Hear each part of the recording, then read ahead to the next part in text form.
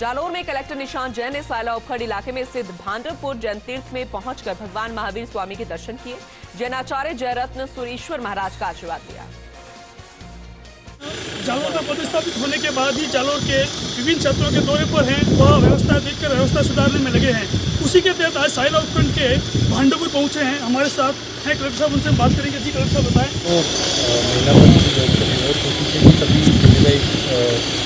है कि का पूजन हो जाए, आज भांडवपुर तीर्थ बहुत प्रसिद्ध है। और मेरा आना हुआ था तो भांडवपुर तीर्थ आया। और मंदिर और यहाँ पे जो और यहाँ की जो अभी स्कूल बन के तैयार है और जो यहाँ का चिकित्सालय बन के तैयार है, जो भामा चाव के संयुक्त से बन रहा है तो उसमें उनको किस तरह से करना है और कुछ जो लोकल समस्याएँ हैं यहाँ की जनता की, सरपंच साहब वगैरह और बाकी तो है, सभी लोग मेरे साथ हैं सी साहब हैं एस साहब हैं, तहसीलदार साहब हैं। सर ये भांडुपुर जो तीर्थ है ये धोती संघार का सबसे प्राचीन महातीर्थ है।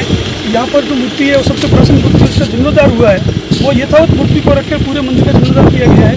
तो हम चाहेंगे कि पर्यटन विभाग की सूची में भी नाम दर्ज हो इसके लिए आपके को विशेष प्रयास रहेंगे।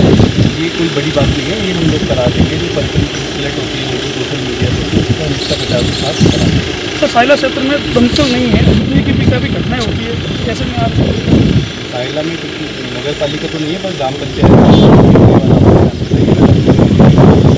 एक साल बजट में कृषि मंडी की घोषणा हुई अनार मंडी की वो कब तक शुरू हो पाएगी ऐसा कोई प्रोसेस शुरू हो पाया है?